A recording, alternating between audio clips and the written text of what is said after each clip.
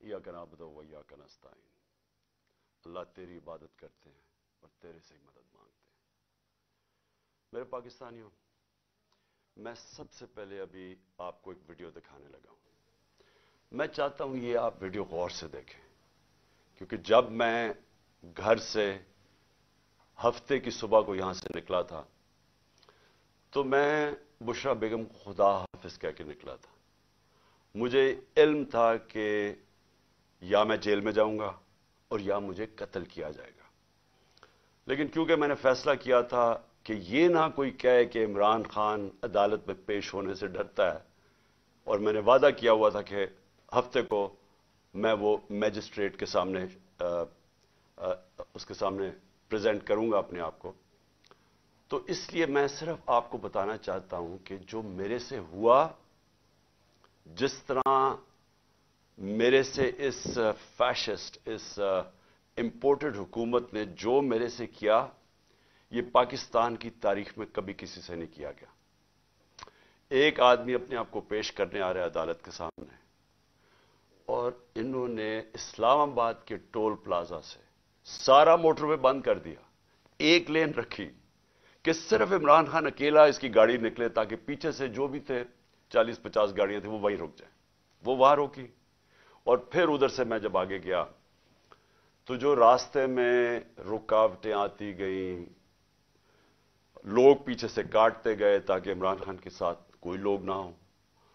آخر کرتے کرتے ساڑھے چار گھنٹے مجھے لگے ٹول پلازا سے لے کے پہنچنے تک وہ جو جوڈیشل کمپلیکس ہے۔ اس کے پہنچنے سے پہلے کوئی وجہ نہیں تھی۔ ایک دم ٹیئر گیس شیلنگ ہو گئی۔ ایک ہم دیکھ رہے ہیں، آرام سے جا رہے ہیں۔ میں پیشی دینے جا رہا ہوں۔ لوگ ساتھ اور لوگ پتہ نہیں کدھر سے آئے۔ میں یہ بھی آپ کو بتا دوں، ہمارے کارکن بھی بڑے کم تھے۔ لوگ عام پتہ نہیں کہاں سے، ارد گرد سے لوگ آئے۔ وہ ساتھ چلنا شروع ہو گئے۔ ان کے اوپر ٹیئر گیس شیلنگ ہوئی۔ یہ بھی ہم نے موجزہ دیکھا کہ جیسی ٹیئر گیس شیلنگ ہوئی، تیز ہوا چل رہی ہوئی، وہ اس طرف چلی گئی ہوا جدھر کے پولیس شیل کر رہی تھی۔ یہ بھی اللہ کا موجزہ میں نے دیکھا۔ اور پھر آگے گئے، پھر شیلنگ ہو گئی، پھر پتھر مارے گئے۔ وہاں انتشار ہونا تھا، اشتعال ڈلوایا گیا۔ آخر میں میں پہنچا جوڈیشل کمپلیکس کے دروازے پہ۔ چالیس منٹ میں وہاں کھڑا رہا۔ ادھر سے اوپر سے پتھر مار رہی تھی پولیس۔ ٹیئر گیس شیلنگ کر رہی تھی۔ یعنی ایک آدمی اپنے آپ کو لے کے جا رہا ہے جوڈیشل اپنے میجسٹریٹ کے سامنے۔ یہاں پوری پولیس تین جگہ سے زمان پاک پہ حملہ ہو رہا ہے کہ جی یہ مجھے ادھر لے کے جا رہے ہیں، جو میں پہلے کہہ رہا ہوں، میں جا رہا ہوں۔ اور وہاں پہنچ رہا ہوں، سارا راستہ رکاوٹیں۔ اور جب وہاں پہنچتا ہوں، چالیس منٹ میں باہر کھڑا ہوں، اوپر سے پتھراؤ بھی ہو رہا ہے شیلز بھی ہو رہے ہیں۔ اور جب میں اندر جاتا ہوں یہ میں کل بھی بتا چکا ہوں، لیکن میں آپ کو ایک نئی چیز آج بتانا چاہتا ہوں۔ جب میں دروازے کے اندر جاتا ہوں، تو جو وہ میں سین دیکھتا ہوں، پولیس ہی پولیس بھری ہوئی ہے۔ لیکن صرف پولیس نہیں، بھری ہوئی رینجرز بھی ہیں۔ یعنی میں تو اپنے آپ کو پیشی پہ جا رہا ہوں۔ پولیس، رینجرز، لیکن جو سب سے بڑی چیز میں آج آپ کو دکھانا چاہتا ہوں، وہاں نامعلوم افراد تھے شلوار کمیزوں میں۔ اور میں جب گیٹ کے اندر جانے لگا، انہوں نے جب حملہ کیا، کوئی کچھ نہیں کر رہا تھا، انہوں نے پولیس نے ایک دم مارنا شروع کیا۔ تو تب میرا ایک کولیگ جلدی سے وہ آیا اور اس نے اشارہ کیا کہ نکلو باہر۔ اور اس نے کیوں اشارہ کیا نکلو باہر؟ کیونکہ وہ سمجھ گیا تھا کہ یہ ٹریپ تھا۔ یہ صرف جیل جیل تو میں سمجھ، سوچا تھا کہ میں جیل میں چلا جاؤں۔ اس نے کہا، یہ جیل نہیں ہے۔ یہ قتل کرنے لگے ہیں آپ کو۔ پھر ہم نے گاڑی نکالی۔ تو میں ہی آج آپ کے سامنے یہ ایک تھوڑی سی یہ ویڈیو دیکھیں۔ ذرا غور کریں اس ویڈیو پہ کہ اس جوڈیشل کمپلیکس میں جو ہمارے وکیل تھے، ان کو مار مار کے پولیس نے اندر نہیں گھسنے دیا۔ ان کے اوپر ڈنڈے برسائے۔ کسی کو وہاں جانے نہیں دے رہے تھے۔ ان لوگوں کو انہوں نے کیوں اندر جانے دیا؟ میں چاہتا ہوں کہ میرے chief justice, Pakistan supreme court کے چیف جسٹس، پلیز یہ بھی آپ غور سے دیکھیں۔ ہو کیا رہا ہے اس ملک میں؟ ایک آدمی قانون کی بالادستی کے لیے یہاں سے نکلتا ہے، رکاوٹیں، روکتا روکتا، کوئی بھی ہوتا، واپس چلا جاتا۔ اس کے باوجود وہ صرف یہ بتانا چاہتا تھا پتا ہوتا ہے کہ انہوں نے مجھے جیل میں ڈالنا ہے، کیونکہ تیاری تو ہمیں پوری نظر آ گئی راست۔ اتنی پولیس، ایف سی تو میں نے کبھی دیکھی نہیں ہے۔ ایک آدمی کے لیے۔ اب جب اندر جب جاتے ہیں، تو جو وہاں سینز ہیں، میں یہ چاہتا ہوں چیف جسٹس صاحب، آپ بھی غور سے دیکھیں۔ آپ کو پتا چلے آج اس ملک میں ہو کیا رہا ہے۔ ذرا یہ میں، یہ ذرا پلیز ٹیپ چلا کے دیکھیں۔ بازی والی بات دن سے لے گئے خالی گاڑیاں دو بج کے اور پچاس منٹ ہو چکے ہیں۔ اور یہ صورتحال ہے پوزیشن سنبھالی ہوئی ہیں۔ پولیس نے اور یہ کچھ نامعلوم افراد بھی ہیں، ان کا نہیں پتا یہ کس ادارے سے ہیں، یہ کون ہیں۔ یہ دیکھیں۔ یہ نامعلوم افراد ہیں۔ اور ان کے ڈریس کے اوپر نہیں لکھا ہوا یہ کون ہیں، کس ادارے سے ہیں، کیا ہیں۔ آگے بھی پولیس نے یہ پوزیشنیں لی ہوئی ہیں۔ یہ وہ روڈ ہے جس سے آنا ہے، عمران خان نے۔ یہ دیکھیں۔ اور مختلف اس میں لینز میں اور یہ دیکھیں، اس گیٹ سے اندر بھی پولیس اور دیگر اداروں کے لوگ ہیں۔ اس گیٹ کے اندر بھی۔ بازی والی بات دن سے لے گئے خالی گاڑیاں چیف جسٹس صاحب میں آپ کو اس لیے مخاطب کر رہا ہوں کیونکہ اس وقت جو ملک میں حالات ہو رہے ہیں میں نے اپنی زندگی میں اس طرح کے حالات نہیں دیکھے۔ کوئی قانون نہیں ہے اس باری۔ کسی قسم کا اس وقت کوئی ادب نہیں ہے اس ملک کی آئین کا۔ ہر قسم کا حربہ استعمال کیا جا رہا ہے ایک مقصد کے لیے کہ پہلے تو عمران خان کو راستے سے ہٹاؤ۔ میں تو مینٹلی تیار ہی گیا تھا یہاں سے کہ مجھے جیل میں ڈال دیں گے۔ جیل میں نہیں، یہ ڈرے ہوئے ہیں کہ اب جیل میں بھی اگر یہ گیا تو جو اس ملک کے حالات ہیں، الیکشن کے رزلٹ تو واضح ہیں۔ یہ جو مرضی کر لیں یہ تو اب الیکشن جیت ہی نہیں سکتے۔ جو جتنی مرضی دھاندلی کر لیں۔ اس لیے وہ چاہتے ہیں کہ اس کو قتل کرنا۔ میں یہ کیوں بار بار کہہ رہا ہوں کہ میری جب زندگی خطرے میں ہے، مجھے کیوں اس طرح کی اپیرنسز کرنے دیتے ہیں؟ جب جس آدمی نے مجھے گولیاں ماری، وہ تو آج جیل سے ویڈیو کانفرنسنگ پہ بات کر رہا ہے۔ میں جب نکلتا ہوں باہر، پہلے تو میری جان خطرے میں ہوتی ہے، کوئی پروٹیکشن نہیں ہوتی۔ اس کے بعد دوسری چیز، جیسے میں باہر نکل کے واپس آتا ہوں، اور دہشت گردی کے کیس ہو جاتے ہیں۔ تقریباً سو کیسز ہو گئے میرے اوپر۔ مجھے صرف وہ اسٹڈی کر کے بتائیں کہ میں، کیا میں نے غلطی کی جو میرے اوپر دہشت گردی کے کیس ہو گئے۔ لیکن اس سے بھی زیادہ، مجھے یہ بتائیں کہ میری پروٹیکشن کیا تھی۔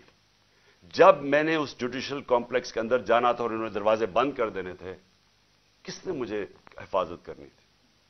چار پانچ میرے ساتھ جو لوگ ہونے تھے، انہوں نے تو انہوں نے تو جو پولیس اور یہ نامعلوم افراد کی نفری تھی، انہوں نے تو بڑی جلدی ان کو سائٹ پہ کر دینا تھا اور مجھے اکیلا کر دینا تھا۔ اور میں آج آپ کو بتا رہا ہوں ان کا پلان کیا تھا۔ چیف جسٹس صاحب، میں یہ پلان بڑی دیر کا ڈیڑھ مہینے پہلے میں بولا شروع ہوا پبلک ریلیز میں کہ انہوں نے ایک دینی انتہا پسند کے نام پہ مجھے قتل کرنا تھا۔ ڈیڑھ مہینے سے میں لگا ہوا تھا۔ کسی نے پرواہ نہیں کی، وہ ہوا، اللہ نے بچا لیا۔ اب میں یہ تب سے لگا ہوا ہوں کہ ان کا انٹرسٹ مجھے مارنا ہے۔ اور یہ جو صرف مجھے یہ جو کیسز کر رہے ہیں اور مجھے جو باہر نکالتے ہیں اور ایکسپوز کرتے ہیں، اس کا مقصد صرف مارنا ہے۔ ان کو پتہ ہے کہ عمران خان نے آج تک کبھی قانون نہیں توڑا۔ ان کو پتہ ہے کہ مجھے گولیاں لگنے سے پہلے ساری سب عدالتوں میں میں جا رہا تھا۔ اور ان کو پتا ہے کہ اس کے بعد بھی میں عدالتوں میں گیا ہوں۔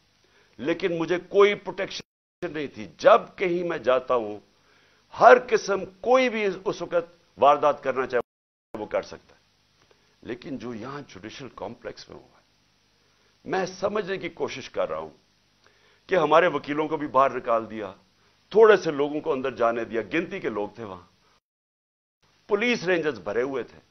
نامعلوم افراد وہاں کیا کر رہے تھے؟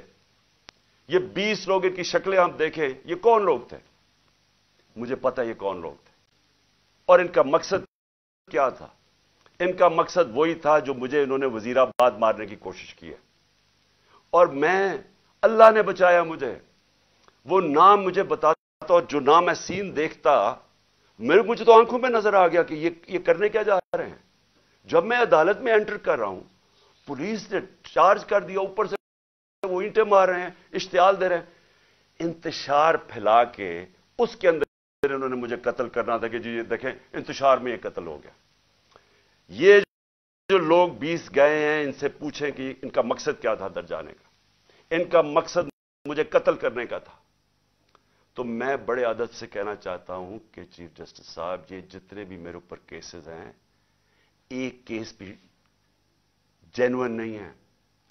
یہ کیسز صرف مجھے عدالتوں میں یہاں سے نکال کے قتل کرنے کے لیے۔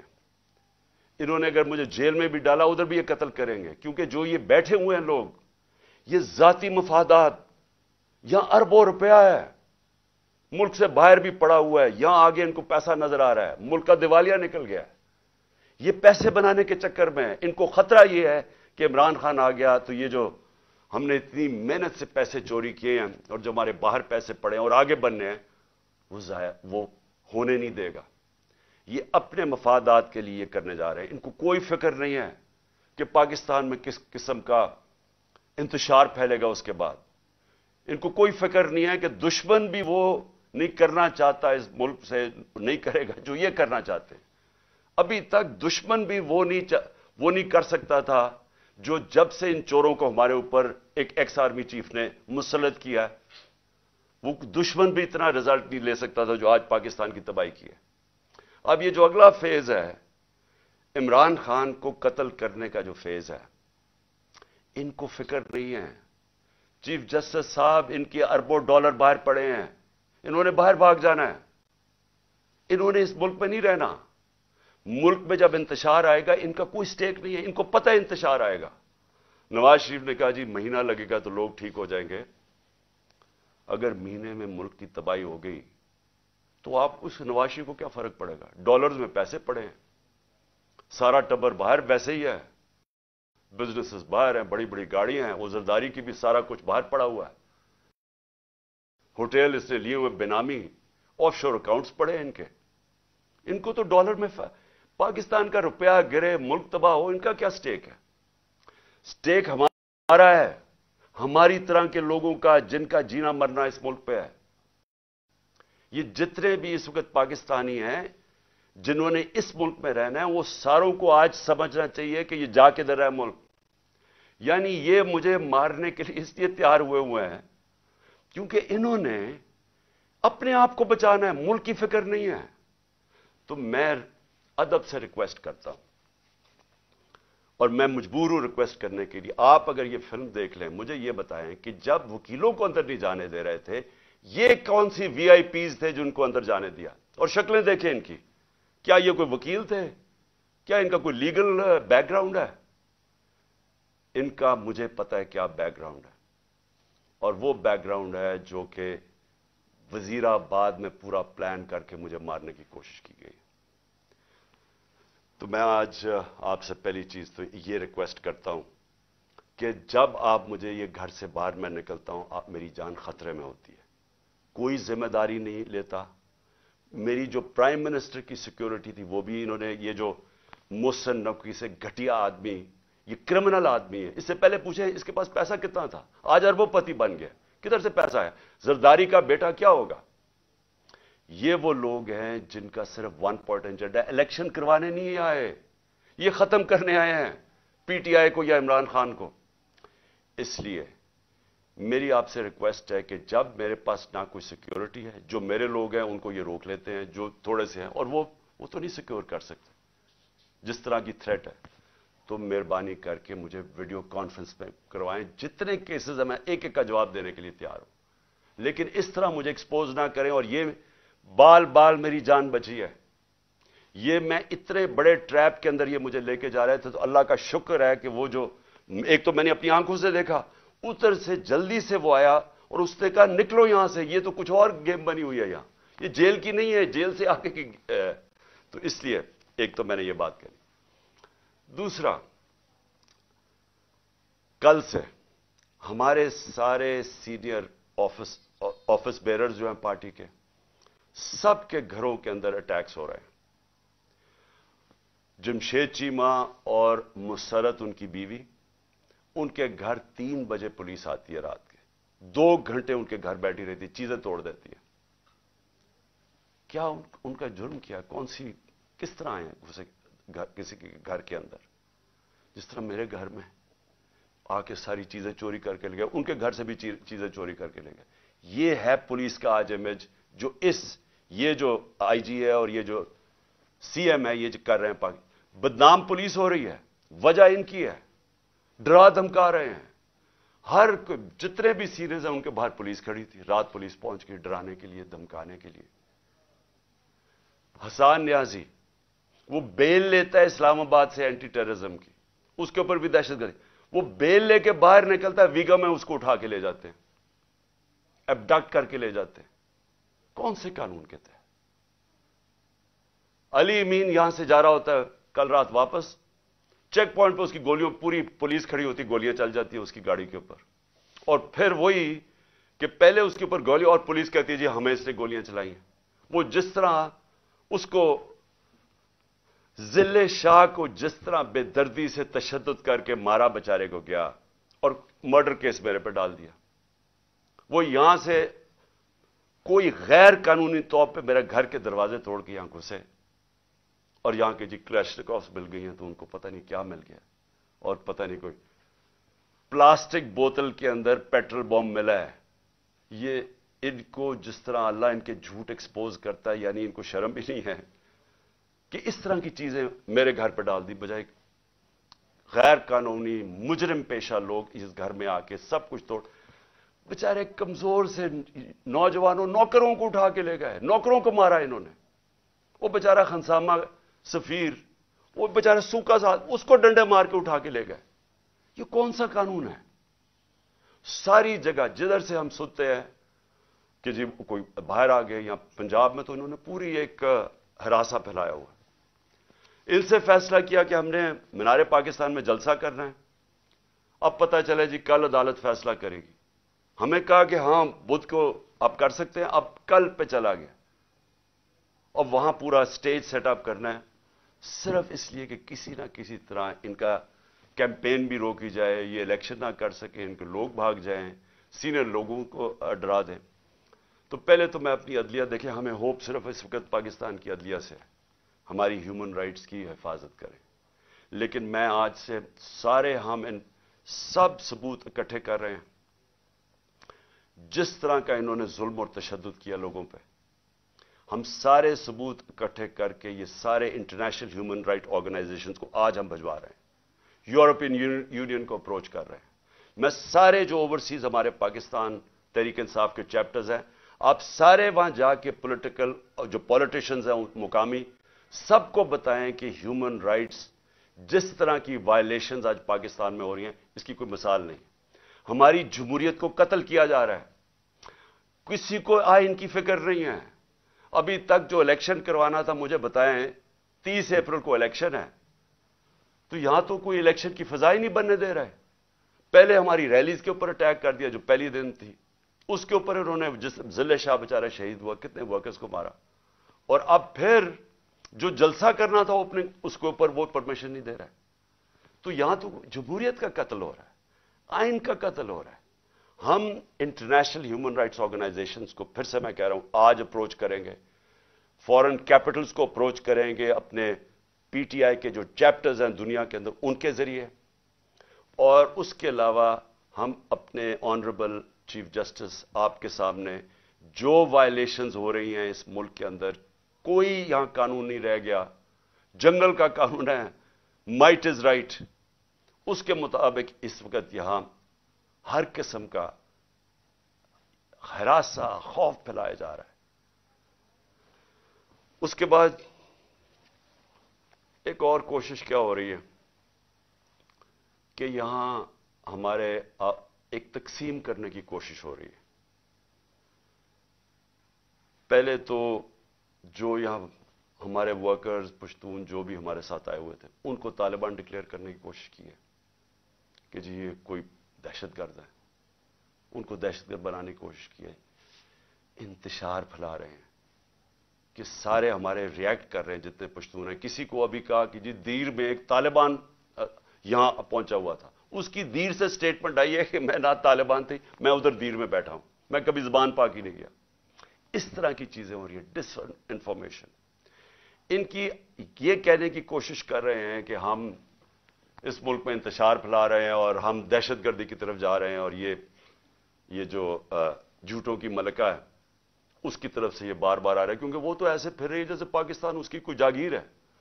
کو، کوئی قانون سے وہ اوپر ہے، وہ حکم کر رہی ہے کہ یہ کرو، اس کو پکڑو، اس کو معاف کر دو، میرا باپ نیلسن منڈیلا ہے، اس کے سارے کیسز ختم کر دو۔ یعنی اس کو تو کوئی ایشو ہی نہیں ہے کہ اس ملک کے اندر کوئی آئین اور قانون بھی ہے۔ یہ جو تقسیم کرنے کی کوشش ہے، انتشار پھیلانے کی کوشش ہے، اس کے پیچھے کیا ہے؟ اس کے پیچھے کسی نہ کسی طرح الیکشن میں سے نکلنا ہے۔ اگر کسی پارٹی، کوئی پارٹی اس ملک میں آج انتشار نہیں چاہتی، وہ تحریک انصاف ہے۔ کیونکہ ہم الیکشن چاہتے ہیں۔ جو الیکشن چاہے گا، وہ کیوں ملک کے اندر انتشار چاہے گا؟ جو سارے راستے میں کل اسلام سیٹرڈے کو اسلام آباد، جو ہمارے اوپر انہوں نے کیا جس طرح کے ربر بلٹس اور یہ یہ جو ٹیئر گیسیں کی جب کوئی کچھ نہیں کر رہا تھا پرامن چلے جا رہے تھے۔ اشتعال پھیلانے کی کوشش ہے۔ کسی طرح انتشار پھیلے، لوگوں کو جوش آئے، وہ واپس ریٹیلیٹ کرے۔ کوشش صرف یہ ہے۔ یہاں بھی آ کے یہ جو انہوں نے گھر پہ کیا ہے، دیوار توڑ دی، دروازہ توڑ دیا، چیزیں لوٹ کے لے گئے۔ کیا اس سے لوگ جو دیکھ رہے تھے ان کے اوپر کیا گزری ہوگی؟ ساروں کو غصہ تو ہے۔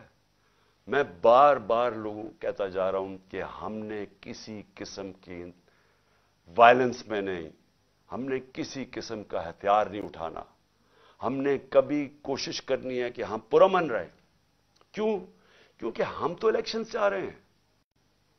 جو الیکشن سے بھاگ رہے ہیں، وہ یہ پوری کوشش کر رہے ہیں۔ تو اس لیے میں یہ واضح کرنا چاہتا ہوں پہلے تو۔ پہلے یہ جو انتشار کی بات ہے، یہ میں کلیئر کر دوں۔ تحریک انصاف کا کارکن نہیں چاہتا، وہ الیکشن چاہتا ہے۔ وہ اس ملک میں تصادم نہیں چاہتا۔ اور دوسری چیز جو تقسیم کرنے کی کوشش کی جا رہی ہے۔ ہمیشہ یہ جو ذاتی مفادات کے لیے پولیٹیشنز آتے ہیں، ان کی کوشش یہ ہوتی ہے کہ انسانوں کو تقسیم کر کے نفرتیں پھیلا کے اور پھر ہم ووٹ اکٹھے کریں۔ یہ بڑا پرانا طریقہ ہے۔ یہ جو ہندوستان میں نریندر موڈی نے کیا کیا کیا؟ انسانوں کو تقسیم کر دیا۔ اس نے ہندو نیشنلزم کو اٹھا دیا کہ آپ بہت کوئی عظیم قوم ہے باقی باقی کی وجہ سے آپ ہم اوپر نہیں جا سکے، تو وہ سارا نفرتیں پھیلا کے اس کی پاور بڑھ گئی ہے۔ یہی کراچی میں کیا گیا تھا۔ انتشار پھیلا کے ڈیوائڈ کر کے کہ جی بڑا ظلم ہے، باقی جو باقی قومیں رہتی تھیں یا کراچی میں ان کے خلاف نفرت پھیلا دی۔ کراچی تباہ ہو گیا۔ آج بھی یہی کوشش ہو رہی ہے کہ کسی طرح ووٹ لینے کے لیے ملک تقسیم ہو۔ اگر لڑائیں کہ پنجابی پٹھان کو یا کسی کو کسی کے ساتھ، صرف یہ کوشش ہے۔ جبکہ ملک کی ضرورت ہے کہ ہم سب اکٹھے ہو کے ایک قوم بن کے اتنا بڑا کرائسس ہے، ملک کو تباہی کے کنارے پہ کھڑا کر دیا، ہم سب مل کے اس میں سے نکلیں۔ اور آخر میں ایک اور کوشش ہو رہی ہے کہ پاکستان کی فوج کو اور تحریک انصاف کو آمنا سامنا کروایا جائے، ہمارا آپس میں لڑائی کروائی جائے۔ یہ بھی پی ڈی ایم کی پوری کوشش ہے، کیونکہ وہ پھر سے میں الیکشن تو یہ اب جیت ہی نہیں سکتے۔ جب الیکشن نہیں جیت سکتے تو کچھ تو کرنا ہے کہ کسی طرح تحریک و انصاف ختم کرو، یہ تو کر ہی نہیں سکتے۔ لہذا پاکستانی فوج کو ان کے اوپر چھوڑو۔ اس کو ان کے خلاف کرو۔ میں یہ واضح کر دوں، فوج بھی میری ہے، ملک بھی میرا ہے۔ میرا جینا مرنا پاکستان میں ہے۔ میں نے اس ملک سے اپنا بوریا بسترا اٹھا کے، اتنے بیگز لے کے، میں نے باہر نہیں بھاگنا، میں نے یہی مرنا ہے۔ اور جو آدمی اس ملک میں پتا ہو کہ اس کی جان خطرے میں، اس کے باوجود وہ جاتا ہے اسلام آباد کی عدالت میں۔ پتا تھا کہ ڈیڑھ مہینے سے میں کہہ رہا تھا کہ مجھے دینی انتہا پسند کے نام پہ میرے اوپر واردات کریں گے۔ اس کے باوجود میں جاتا تھا سارے اپنے جو لانگ مارچ میں کھلے پبلک میں جاتا تھا۔ موت کا خوف نہیں ہے اس کو۔ اس کو اپنے ملک کا خوف ہے اس وقت۔ مجھے ڈر یہ ہے کہ یہ جو لوگ جن کے صرف ذاتی انٹرسٹ ہے یہ سب اکٹھے ہو کے کوشش کر رہے ہیں کہ عمران خان کو راستے سے ہٹاؤ۔ ان کو کوئی ملک کی فکر نہیں ہے۔ اس ملک کو تباہ کرنے کا یہ سب سے بہترین طریقہ ہے کہ ایک فیڈرل پارٹی جو ملک کو اکٹھا کر سکتی ہے، اس کے سربراہ کو قتل کر دو۔ یہ کوشش ہے۔ اور یہ پوری کوشش کر رہے ہیں کہ فوج کو ورغلائیں ہمارے خلاف۔ کہ جی دیکھیں وہ کر دیا، سوشل میڈیا پہ یہ کر دیا۔ سوشل میڈیا کو سمجھ لیں سب۔ کسی کا کنٹرول نہیں ہے سوشل میڈیا پہ۔ جب امپورٹڈ حکومت نامنظور جو چلا، وہ سارے ٹویٹر کے ریکارڈ ٹوٹ گئے۔ کیا ہمارے پاس اتنے لوگ ہیں کہ اتنی زیادہ ہم ٹویٹس کر سکتے تھے؟ یہ پبلک کا، یہ پبلک کی دل کی آواز تھی۔ جو سوشل میڈیا ہے، یہ سب سے بڑا ایک ڈیموکریسی کا ایک نئی چیز آ گئی ہے۔ جس کے پاس موبائل فون ہے، اس کی آواز آ گئی ہے۔ جس جو یہ نہیں سمجھتا، وہ کہ جی اس کے کہنے پہ کر رہا ہے۔ کوئی کسی کے کہنے پہ کچھ کر سکتا ہے؟ لوگ اپنی اب آواز بلند کر سکتے ہیں، لوگ برا بھلا کہہ سکتے ہیں۔ اور جو باہر بیٹھے ہوئے پاکستانی، ان کو تو خوف ہی اب کوئی نہیں ہے۔ ان کو تو کوئی پکڑ نہیں سکتی۔ ایف آئی اے آ کے اور رات کو بند کر کے ان کو کمروں میں مارے۔ وہ تو بول سکتے ہیں۔ تو یہ آواز سنیں لوگوں کی۔ بجائے یہ کہ جی تحریک صاحب کچھ کر رہی ہے، کوئی غلط کام کر رہی ہے وہ انگریزی میں لفظ ہے اسمیل دا کافی دیکھیں کدھر جا رہا ہے ملک، لوگوں، لوگ کدھر جا رہے ہیں؟ اور یہ منار پاکستان یہ پوری کوشش کر رہے ہیں کہ ہمارا جلسہ نہ ہو۔ وہ کیوں کر رہے ہیں؟ کیونکہ میں آج چیلنج کرتا ہوں۔ پاکستان کی تاریخ کا سب سے بڑی پبلک نکلے گی منار پاکستان۔ آپ کو پتا چل جائے گا کہ قوم کھڑی کدھر ہے۔ آپ کو لوگوں کی، لوگ اب جو بھی رکاوٹیں کریں گے، وہ آئیں گے لوگ۔ کیونکہ لوگ یہ دیکھ رہے ہیں ملک سے کیا ہو رہا ہے۔ لوگ بے فور نہیں ہیں۔ جو سمجھتا ہے کہ پبلک جانور ہے، بھیڑ بکری ہیں، اس سے بڑا بیوقوف آدمی کوئی نہیں ہے۔ ایبراہم لنکن کی ایک سب سے بڑی صحیح ہے بڑی بڑا بڑا دانشور تھا پریزیڈنٹ بھی تھا۔ اس نے کہا، آپ تھوڑی دیر کے لیے ساری قوم کو بیوقوف بنا سکتے ہیں۔ اور سارا وقت تھوڑے سے لوگوں کو بیوقوف بنا سکتے ہیں۔ لیکن سارا وقت ساری قوم کو آج تک کوئی بیوقوف نہیں بنا سکا۔ اور اوپر سے سوشل میڈیا کا زبان ہے، اتنا زیادہ شعور ہے جو کبھی ان ساری تاریخ میں کبھی نہیں تھا۔ تو میں پھر سے کہتا ہوں، ملک کی خاطر یہ جو راستے پہ نکل گئے ہیں، خدا کے واسطے ہوش کریں۔ یہ جو حرکتیں کر رہے ہیں، یہ اس ملک کی تباہی کا راستہ ہے۔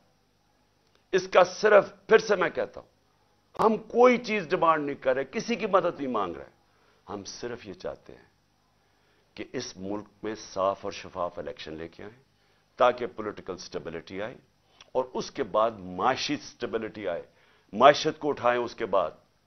جب تک پولیٹیکل سٹیبلٹی نہیں آئے گی، کوئی آج اس جو معیشت تیزی سے زمین میں گھسی چکی ہے اور شرمناک بات یہ ہے کہ سینٹ میں کھڑا ہو کے ساگ ڈار کہتا ہے کہ جی آئی ایم ایف نے ہمیں کہا کہ کوئی ہمارا نیوکلیر پروگرام کو کیپ کرو یا جو میں نے مسائل پروگرام کو۔ یعنی اس سے خطرناک بات کیا ہے؟ میں نے میں نے بلکہ تقریباً دس مہینے پہلے میں نے ایک بات کہی۔ میں نے کہا جب ایک قوم کا دیوالیہ نکل جاتا ہے تو اس کی نیشنل سیکیورٹی بھی کمپرومائز ہو جاتی ہے۔ اگر قوم کا دیوالیہ نکلے گا تو اس کا اگلا مسئلہ یہ ہوگا کہ اس کی سیکیورٹی کے اوپر کمپرومائز ہوں گے۔ جو ہمارے جو پاکستان کے دشمن ہیں، وہ سب سے پہلے کوشش کریں گے کہ پاکستان کو ڈسام کیا جائے۔ اور مجھے لگ رہا ہے کہ یہ اسی طرف یہ اب بات چیت شروع ہوگی ہے کہ جی ہمارا دیوالیہ نکل گیا۔ اب آئی ایم ایف تب مدد کرے گی اگر ہم یہ یہ کریں۔ یعنی ہم اپنی نیشنل سیکیورٹی پہ کمپرومائز کریں۔ تو اس لیے میں آخر میں پھر سے اپنے چیف جسٹس صاحب سے کہتا ہوں کہ یہ جو میرے سے ہوا جوڈیشل کمپلیکس میں، یہ مجھے مارنے کی سازش تھی، یہ ٹریپ تھا۔ جب آپ انویسٹیگیٹ کریں گے، نامعلوم افراد کون ہیں، آپ کو خود ہی پتا چل جائے گا کہ پلان ان کا کیا تھا۔